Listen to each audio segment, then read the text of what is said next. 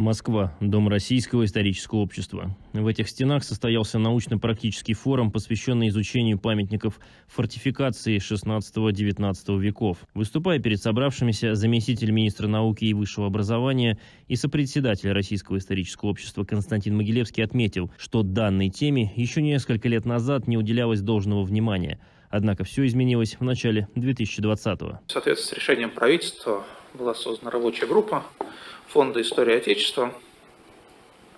Потом подключились отделения Российского исторического общества к этой работе. И была, в общем, в короткий срок проведена работа по систематизации, инвентаризации того, что у нас есть, того, что у нас сохранилось. Сохранилось довольно много в разных регионах России.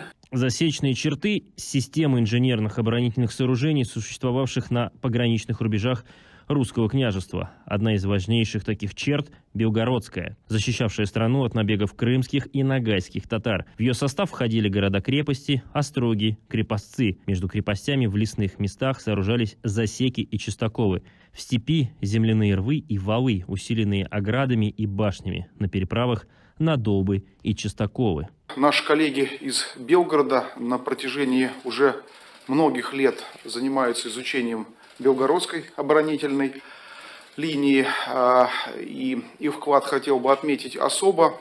Буквально на прошлой неделе состоялась большая трехдневная конференция, посвященная Белгородской оборонительной линии, в которой принимали участие коллеги со всей страны.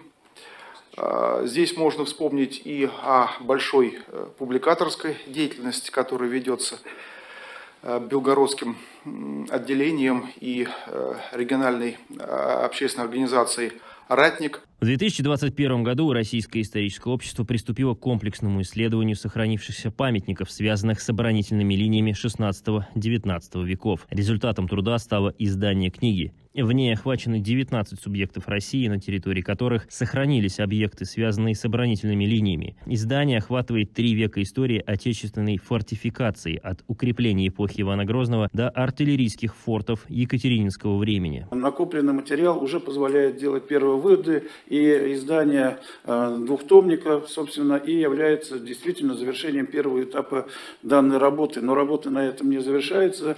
Дело в том, что есть значительные э, потребность выявления новых архивных материалов, проведения дополнительных исследований в архивах хранилищах э, различных республик, областей территорий. И, наверное, мы должны объединить свои усилия еще и в создании единой общей базы. Кроме того, полученные данные легли в основу онлайн-проекта «Атваса», благодаря которому любой желающий может ознакомиться с интерактивными картами памятников засечных черт. В рамках круглого стола в Доме Рио прошла и презентация дизайн-макета памятного знака засечных черт России. Так, еще в августе 2023 года стартовал всероссийский конкурс на его разработку.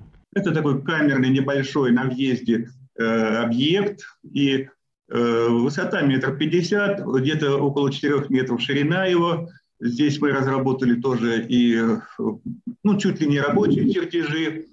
Э, также на подъезде на автодороге мы предложили такой вот знак Царицынская стражевая линия, который э, в меньшей степени будет э, мешать движению транспорта на дорогах. Там есть свои специфические особенности при установке таких знаков. Мы их очень хорошо изучили. Каждый такой знак может быть снабжен QR-кодом, чтобы туристы и местные жители имели возможность узнать, что это за объект и с какой целью он был построен. Проекты, победившие в конкурсе, будут представлены в скором времени заинтересованным органам региональной и муниципальной власти. Служба информации фонда «История Отечества».